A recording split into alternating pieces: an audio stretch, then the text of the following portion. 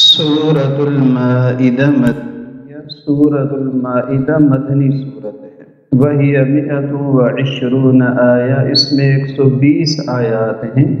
وہ ستت عشر رکوعا، اور اس میں سولہ رکوع ہیں۔ اعوذ باللہ من الشیطان الرجیم۔ بسم اللہ الرحمن الرحیم۔ یا ایوہ الذین آمنوا اوفوا بالعقود۔ اے ایمان والو، اپنے وعدوں کو پورا کرو۔ اے ایمان والو، معاہدوں کو پورا کرو۔ احلت لکم بہیمت الانعام حلال کیے گئے ہیں تمہارے لیے چوپائے مویشی۔ ما یتلا علیکم سوائے ان کے جو تم پر پڑھے جائیں گے غیر محل الصید سوائے اس کے کہ تم حلال نہ سمجھو شکار کو وانتم حرم، اس حال میں کہ تم احرام میں ہو یا تم حرم میں ہو۔ ان اللہ یحکم ما یرید بے شک اللہ تعالی حکم دیتے ہیں جو چاہتے ہیں۔ آج کا جو ہمارا سبق ہے، یہ سورت المائدہ کا آغاز ہے اور یہ قرآن پاک کی اہم ترین صورتوں میں سے ایک صورت ہے۔ اور یہ سورہ مبارکہ بعض حضرات اس کو قرآن پاک کی آخری صورت بھی قرار دیتے ہیں۔ چنانچہ حضرت عبداللہ ابن عمر رضی اللہ تعالیٰ عنہ اور حضرت اسما بنت یزید یہ فرماتے ہیں مسند احمد کی روایت ہے کہ سورہ معدہ نبی کریم صلی اللہ علیہ وسلم پر اس وقت نازل ہوئی جبکہ آپ سفر میں عزبہ نامی اونٹنی پر سوار تھے اور آپ علیہ السلام پر وحی کے نزول کے وقت جو بوجھ ہوتا تھا وہ بوجھ ہوا۔ یہاں تک کہ اونٹنی عاجز آ گئی۔ آپ صلی اللہ علیہ وسلم نیچے اتر آئے اور یہ سفر بظاہر حجت الوداع کا سفر تھا۔ تو اس اعتبار سے یہ آخری صورتوں میں سے ہے۔ اور حجت الوداع کا یہ جو سفر تھا، یہ دسویں سال میں ہوا تھا۔ اسی سے واپسی کے تقریباً اسی دن بعد نبی کریم صلی اللہ علیہ وسلم اس دار فانی سے رحلت فرما گئے تھے۔ اور بعض حضرات فرماتے ہیں کہ اس کا کچھ حصہ تو حدیبیہ میں نازل ہوا، سفر حدیبیہ جو پہلے ہوا تھا، اور کچھ حصہ جو ہے وہ حجت الوداع کے موقع پر اترا۔ بہرحال اگر یہ بالکل آخری صورت نہ بھی ہو، تو آخری احکامات اور صورتوں میں سے ایک یہ سورہ مبارکہ بھی ہے۔ اور ایک روایت میں نبی کریم صلی اللہ علیہ وسلم فرماتے ہیں المائدہ من آخر القرآن تنزیلا۔ سورہ مائدہ نزول کے اعتبار سے قرآن کی آخری صورتوں میں سے ہے۔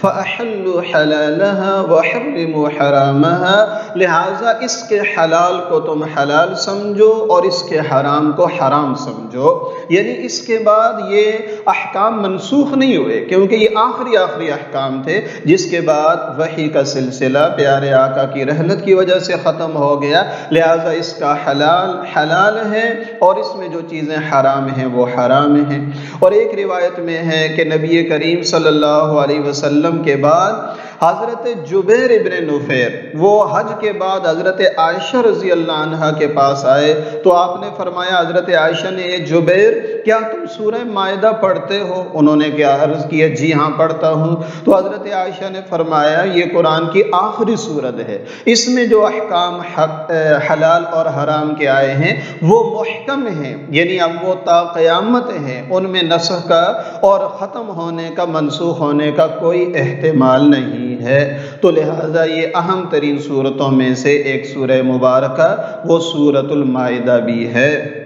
اور ایک روایت میں کہ نبی علیہ السلام نے حضرت عمر ابن حزم رضی اللہ تعالیٰ عنہ کو یمن کا گورنر بنا کر بھیجا۔ اور فرمان لکھ کر ان کے حوالے کیا تو اس کے اوپر بھی نبی علیہ السلام نے یہی آیت مبارکہ جو ابھی ہم نے پڑھی۔ پیارے آقا صلی اللہ علیہ وسلم نے یہ آیت مبارکہ بھی تحریر فرمائی۔ بہرحال یہ سورہ معدہ ہے اور اس میں ایک سو بیس آیتیں اور سولہ رکو ہیں۔ جو پہلی آیت مبارکہ ہے اور اس کا جو بالکل پہلا حصہ ہے، فرماتے ہیں کہ اس کی تشریح کے لیے ہزاروں صفحات چاہیے۔ قرآن پاک کا ایک ایک جملہ انسانوں کی زندگی اور رہنمائی کے لیے کافی ہوتا ہے۔ فرمایا، اے ایمان والو، اپنے معاہدوں اور وعدوں کو پورا کرو۔ معاہدہ اور عہد اس کو کہا جاتا ہے جو دو شخصوں یا دو جماعتوں کے درمیان ہو۔ اور باقی یہ صادق آتا ہے اس پر بھی کہ جو انسان نے اللہ تبارک و تعالیٰ کی وحدانیت کا کلمہ پڑھا ہے۔ کہ اللہ تبارک و تعالیٰ کے علاوہ کوئی معبود نہیں۔ اللہ تبارک و تعالیٰ کو ایک ماننا ہے اور پھر اللہ تعالیٰ کے احکام پر چلنا ہے۔ پھر کلمہ طیبہ کا دوسرا جز ہم نے پڑھا، محمد الرسول اللہ اللہ کہ محمد صلی اللہ علیہ وسلم اللہ کے رسول ہیں۔ تو وہ بھی اس کے اندر جتنے پیارے آقا کے احکامات ہیں، گویا ہم نے رسالت کا اقرار کر کے یہ معاہدہ کر لیا کہ ہم ان پر عمل کریں گے۔ ہم حضور کے مبارک طریقے پر چلیں گے۔ اور اسی طرح جو بندوں کے آپس کے اندر معاملات ہوتے ہیں، وہ بھی اس میں شامل ہیں۔ اس میں نکاح بھی شامل ہے، خرید و فروخت بھی شامل ہے۔ اور اسی طرح اس میں حکومتوں کے معاملات بھی شامل ہیں، بین الاقوامی معاہدات بھی شامل ہیں۔ تو ساری جو معاہدات ہیں، وہ سب کے سب اس کے اندر شامل ہیں۔ تو دیکھیے، اگر ایک آدمی کلمہ طیبہ کے دونوں اجزاء پر عمل کرے کہ لا الہ إله إلا الله پر بھی وہ عمل کرے کہ جو اللہ کے احکامات ہیں ان پر عمل کروں گا۔ پورا قرآن اس میں آ گیا۔ محمد الرسول اللہ ساری احادیث مبارکہ، سنت اس کے اندر آ گئی۔ پھر آپس کے معاملات، اس کے اندر بھی یہ آدمی وعدے کو پورا کرے۔ تو کس طرح دو شخصوں کے معاملات، دو پارٹیوں کے معاملات، دو ملکوں کے معاملات، پوری دنیا کے معاملات، انسان کے اور اپنے رب کے معاملات، یہ سارے معاملات ٹھیک ہو سکتے ہیں۔ اگر اس ایک آیت مبارکہ پر عمل کر لیا جائے۔ تو یہ قرآن پاک ایک جامع کتاب ہے، الفاظ مختصر ہوتے ہیں اور اس کے اندر مفاہیم بہت زیادہ ہوتے ہیں، جو انسان ان کا احاطہ بھی نہیں کر سکتا۔ تو انہیں آیتوں میں سے ایک یہ آیت مبارکہ بھی ہے۔ تو فرمایا، اے ایمان والو، اپنے معاہدوں کو پورا کرو۔ ناجائز معاہدہ کرنا جائز ہی نہیں۔ لہٰذا اس کو پورا کرنے کی بات ہی نہیں ہو سکتی ہے۔ اور ایک آدمی نے وعدہ کیا، دو آدمیوں نے معاہدہ کیا، پھر اس آدمی کا پکا ارادہ تھا کہ اس وعدے کی پابندی کروں گا۔ ان معاہدات پر ہم عمل کریں گے۔ کسی بشری تقاضے کے تحت انتہائی مجبوری کی وجہ سے، کسی بیماری عذر کی وجہ سے، اگر وہ اس سے پورا نہیں ہو سکا تو پھر اللہ تعالیٰ درگزر فرما دیتے لیکن معاہدات اور وعدوں کو توڑنے کی عادت بنا لینا، یا شروع سے یہی ارادہ ہو کہ اس کو پورا تو کرنا نہیں ہے، تو یہ سب وعدہ خلافی اور معاہدوں کی خلاف ورزی میں شامل ہے۔ آپ جس طرح آج کل بہت ساری باتیں عوام الناس سے کی جاتی ہیں اور پھر وقت آنے پر ان کو پورا نہیں کیا جاتا ہے۔ وہ تمام معاہدات جو سیاسی طور پر لوگ کرتے ہیں قوم کے ساتھ، وہ بھی اس کے اندر شامل ہیں کہ وہ معاہدات کرو جن کو تم پورا کر سکتے ہو۔ اور پھر ان کو پورا کرنا یہ انسان پر لازم ہوتا ہے، اس پر واجب ہوتا ہے۔ اے ایمان والو، اپنے معاہدوں کو پورا کرو، اپنے وعدوں کو پورا کرو۔ ایک روایت میں پیارے آقا نے فرمایا، لا ایمان لمن لا عہد له جس آدمی میں معاہدے کی پابندی نہیں، اس آدمی میں تو ایمان ہی نہیں ہے۔ اتنا ضروری اس کو قرار دیا گیا۔ آگے فرمایا، تمہارے لیے حلال کیے گئے ہیں چوپائے مویشی۔ یہ بہیم انعام تو جانوروں کو کہا جاتا ہے، جیسے آگے صورت بھی صورت الانعام آ رہی ہے، اس میں اس کی تفصیل بھی آ جائے گی۔ یہ بہیمہ کا لفظ ساتھ جو لگایا گیا، تو بعض حضرات یہ فرماتے ہیں کہ بہیمہ اس سے لیا گیا ہے کہ وہ جانور انسان کے علاوہ وہ چیزیں جن میں عقل نہیں۔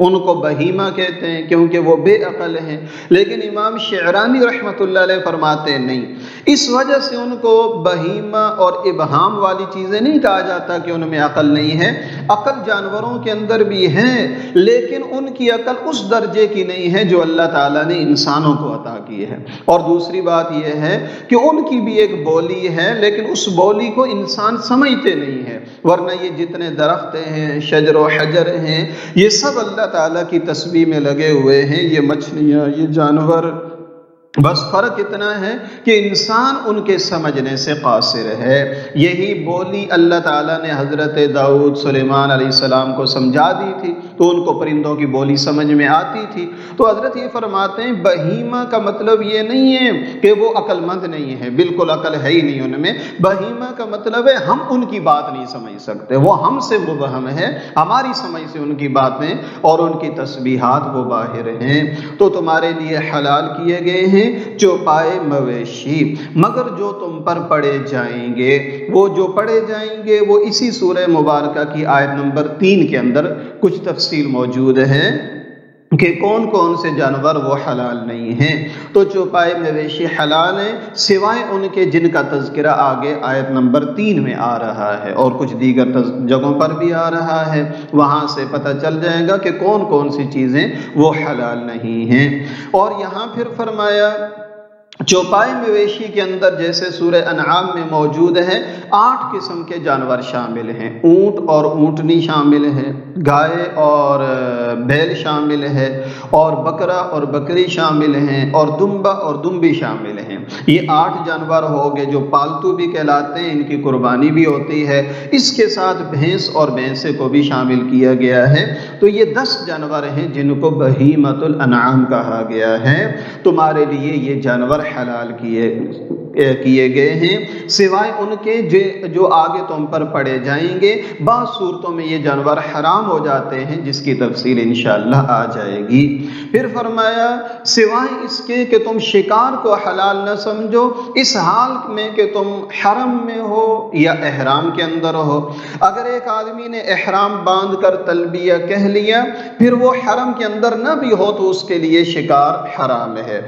اور اگر ایک آدمی نے احرام نہیں بھی باندھا، لیکن وہ حدود حرم کے اندر ہے، پھر بھی اس کے لیے شکار حرام ہے۔ تو شکار حرام ہونے کی دو وجہ ہو گئیں۔ ایک احرام ہو گیا اور ایک حدود حرم ہو گیا۔ ان دونوں میں شکار کرنا حلال نہیں، لیکن اس شکار سے مراد خشکی کا شکار ہے، خشکی کا شکار منع ہے، تری کا شکار کرنے کی اجازت ہے، اس سے ممانعت نہیں ہے۔ اور عرب لوگوں کا جو ایک محبوب مشغلہ تھا نا، وہ شکار بھی تھا۔ اور اس کی ایک بڑی وجہ یہ بھی تھی کہ جو گوشت کھانے کو میسر آتا تھا، وہ اکثر شکار سے ہی ہوتا تھا۔ شکاری لوگ شکار کرتے تھے۔ جس طرح آج کل یہ چھوٹا اور بڑا گوشت اور مرغی کا گوشت اور جگہ جگہ یہ چیزیں دستیاب ہیں، ظاہر بات ہے آج سے کچھ عرصہ پہلے بھی یہ اتنی وافر مقدار میں موجود نہیں تھی۔ تو اس وقت گوشت کے حصول کا عام طور پر ذریعہ جو ہے نا وہ شکار ہی ہوتا تھا۔ اور ویسے بھی وہ لوگ شکار کے شوقین تھے۔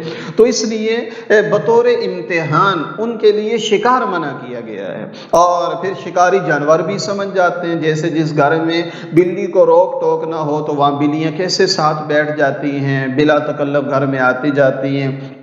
تو حرم کی حدود کے اندر یہ جو جانور ہوتے تھے نا پرندے وغیرہ، یہ بھی بالکل قریب آ جاتے تھے۔ تو ایک آدمی ہو بھی شکاری اور پرندہ بھی بالکل سامنے ہو اور اس کی عادت بھی شکار کی ہو تو اس سے بچنا کتنا مشکل ہے؟ تو یہ ایک ان کے لیے گویا امتحان بھی تھا اور اس میں اس بات کی طرف بھی اشارہ تھا کہ توجہ ساری کی ساری جو ہے وہ ارکان حج کی طرف رہے، عمرہ کی طرف رہے، حرم کی اور احرام کی پابندیوں کی طرف رہے۔ اس کے تقدس کا خیال کیا جائے، لہذا شکار کو منع کیا گیا۔ تو فرمایا، شکار کو حلال نہ سمجھو، اس حال میں کہ تم حرم میں ہو یا اس حال میں کہ تم احرام کی حالت میں ہو؟ اور فرمایا، اللہ تبارک و تعالی جو چاہتے ہیں وہ فیصلہ فرماتے ہیں، انسان کا کام تسلیم کرنا ہے۔ اور فرماتے ہیں، دیکھو، اللہ تبارک و تعالی کو اور اللہ تعالی کے احکامات کو تسلیم کرنے کا حکم ہے، تحقیق کرنے کا حکم نہیں ہے۔ یاد رکھیے، اللہ تبارک و تعالیٰ کی ذات کو نبی علیہ السلام کی ذات مبارکہ اور جو انبیاء، رسول، کتابیں، فرشتے، ان کو تسلیم کرنے کا حکم ہے۔ مسلمان مطلب ہی سر تسلیم خم کرنے کا نام ہے۔ تحقیق کرنے کا نام نہیں ہے۔ تحقیق کی جاتی ہے دنیا کی چیزوں میں۔ سائنسی تحقیقات کرو، کائنات میں غور کرو، جڑی بوٹیوں پر غور کرو، پانیوں پر غور کرو۔ کائنات کے اندر جتنی اللہ تعالیٰ نے مخلوقات بنائی ہیں، ان کے اندر انسان تحقیقات کرے، ان کے منافع سے انسان فائدہ اٹھائے اور ان سے انسان نفع حاصل کرے۔ تو اللہ رسول کی باتیں تسلیم کرنے کے لیے ہوتی ہیں تحقیق کرنے کے لیے، نہیں۔ اس لیے کہ بسا اوقات آج کل معاملہ کہتے ہیں برعکس سے ہے۔ انسان جو ہے نا، وہ کائنات کے حقائق کو تسلیم کر لیتا ہے، اللہ رسول کی باتوں کی تحقیق شروع کر دیتا ہے کہ اگر وہ ہماری سمجھ میں آئیں تو عمل کریں گے، نہیں آئیں تو عمل نہیں کریں گے۔ تو انشاءاللہ مسلمان کا کام یہ ہے کہ وہ سر تسلیم خم کرنا ہے۔ ہاں تحقیق کرو، کائنات کی باتوں پر تحقیق کرنی ہے اور دیگر چیزوں پر تحقیق کر کے اس سے نفع اٹھائے انسان، اس کے اندر کوئی حرج کی بات نہیں ہے۔ البتہ علمی تحقیقات مزید پختگی کے لیے ہوں، لیکن سر تسلیم خم کرنے میں ذرہ برابر بھی پس و پیش کی گنجائش نہیں ہے، بلکہ ادنا سا شائبہ بھی انسان کے ایمان کو متزلزل کر دیتا ہے۔ تو اللہ تعالیٰ فرماتے ہیں کہ اللہ جو چاہتے ہیں فیصلہ فرماتے ہیں، تو اللہ تبارک و تعالیٰ کی بات کو بلا چون و چرا اس کو تسلیم کرنا ہے۔ چون چرا کی اس میں گنجائش نہیں ہے۔ اللہ تبارک و تعالی ہمیں سمجھنے کی توفیق عطا فرمائے۔ وما علینا الا البلاغ المبین وصلی اللہ